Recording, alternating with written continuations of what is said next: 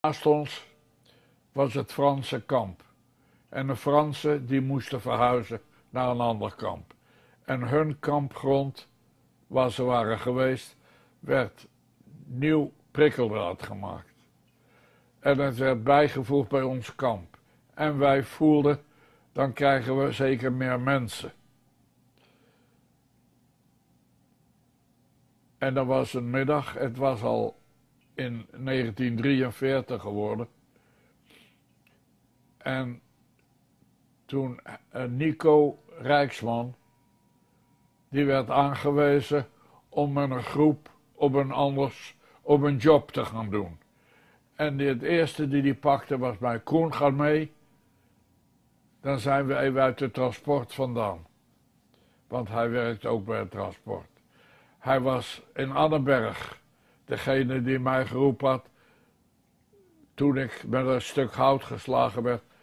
Sla niet terug, hij is de moordenaar. Dat was Nico. En die had een speciaal vriendschapsgevoel voor mij. En we waren ook hele goede vrienden geworden. Till the end. En de eerste die hij uitzocht was ik. Hij moest een groepje van negen of tien Joodse jongens hebben. Hollanders, want waren nog steeds Hollanders. En we konden niet terug naar het werk. En het werk was iets waar we verbinding konden krijgen met anderen. Dus wat gaat er nou gebeuren? Het was een belemmering van dat beetje dat we nog hadden. Ga maar mee, ik heb een goed job. En we waren met negen of tien jongens. En we marcheerden naar buiten toe. En daar stond een auto, een vrachtauto met een trailer, met een aanhang dan. En een militair kwam naar ons toe en die was heel goed. Die begon meteen met sigaretten uit te delen aan de jongens. Ja. En toen zei hij, we gaan stro halen voor het nieuwe kamp. En die dag was een heerlijke dag. We reden uit naar Schönwald. Dat was een dorp dat je alleen maar heel in de verte kon zien. En we lagen heerlijk in de zon.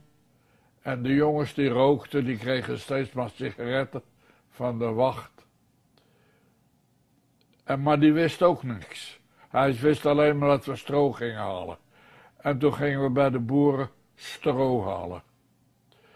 De boeren waren verplicht om zoveel stro af te geven.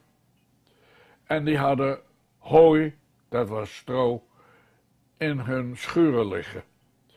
En dat in bundels. En dan moesten ze zoveel bundels afgeven. En die stapelden wij op die wagens. En een, een raar avontuur. Die dag had ik een vreselijke last van krampen, buikkrampen. En we waren aan het werk en ik vroeg aan de wacht, die goede wacht, kan ik uitstreden? Zegt hij, waar naartoe?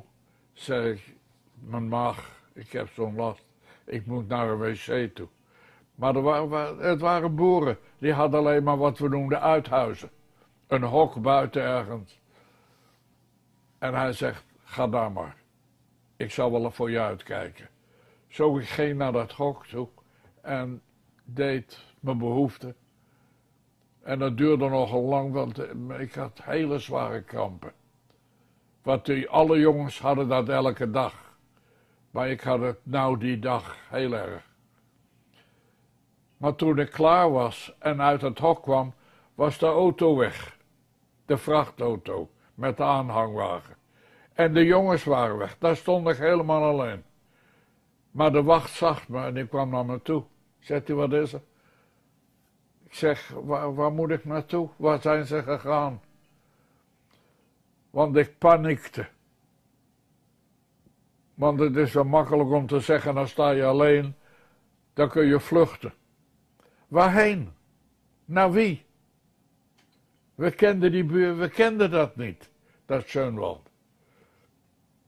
Wel, hij zei, in elk geval zei hij, ga maar naar die schuur toe daar. En hij ging mee. En in die schuur was een boerin bezig. Een struise vrouw. En ze pakte een bundel hooi en gaf het naar mij. Zo, ik moest het dan pakken. Maar het was zo ontzettend zwaar dat ik dacht, hoe kan ik dat tillen? En de wacht die zag mij dat ik bezig was om dat van de grond te krijgen. Toen wees hij. En het bleek dat het touwtje, het touwtje waar het mee gebonden was, een sliert daarvan lag op de grond. En daar stond hij met zijn voet op. En hij zei tegen mij maar. Dus ik ging dat touwtje naar de bundel. En dat zat om de bundel stro. En ik keek een beetje nauw. En toen zag ik dat er een groot boerenbrood, die waren wel zo groot, in verscholen was, in de stro. En die boerin die knikte.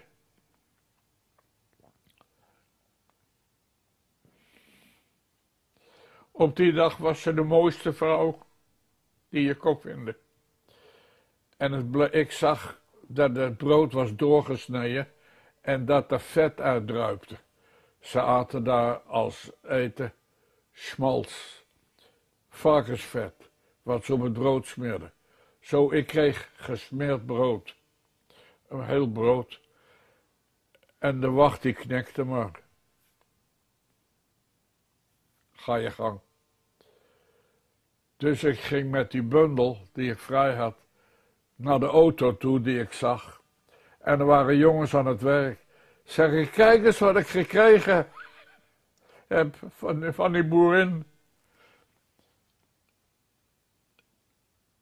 En ze had mijn jak opengemaakt, mijn jasje. En nog meer brood erin gestopt. En dat liet ik zien. En de jongens die op de wagen stonden, we zitten vol. We hebben allemaal gekregen.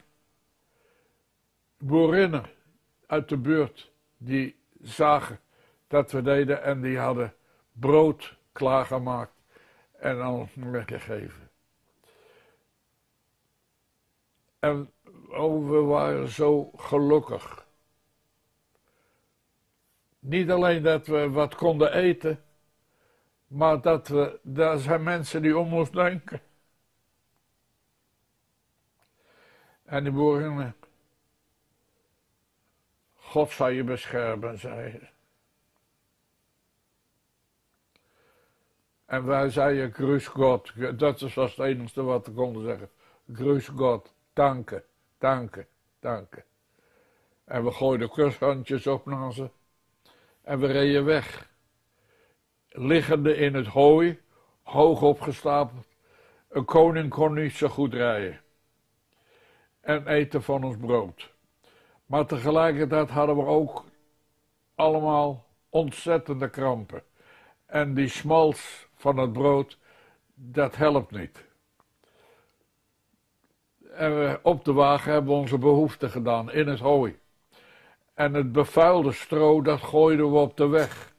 En ik weet nog dat de man op een fiets riep: Hé, hey, je verliest hooi. En Nico riep terug: Pa is voor jou, stuur het naar Hitler. Maar dat riep hij in het Hollands natuurlijk. Ja. We, we noemden dat ons bekakte hooipresent. En we kwamen in het kamp terug, toen was het donker. En daar hadden ze gauw in de gaten dat we brood bij ons hadden. Echt brood, niet kampbrood. Met vet erop. Dus iedereen kwam ons overvallen dat ze ook wel wat wilden hebben ervan. En we begonnen uit te delen. En Erwin Wolf, een van onze Schibers, voorstanders, die ons altijd maar aan de gang hield. En als we niet hard genoeg werkten naar zijn zin, dan wist hij altijd wel een manier om ons weer aan de gang te krijgen. En het was een Duitse Jood. Erwin Wolf, en Ludwig Stern. Dat waren de twee Duitse Joden die onze capo waren. Capo, dat was de schieber. Ja. En die kwam meteen naar me toe, zegt hij, uh, zei hij, wil jij wat brood? Ik geef je mijn soep als je me een stukje van dat brood geeft. Zeg ik, hou je soep maar, eet het lekker, dan zal ik mijn brood eten. Ik heb met Heiman en Salpolok gedeeld.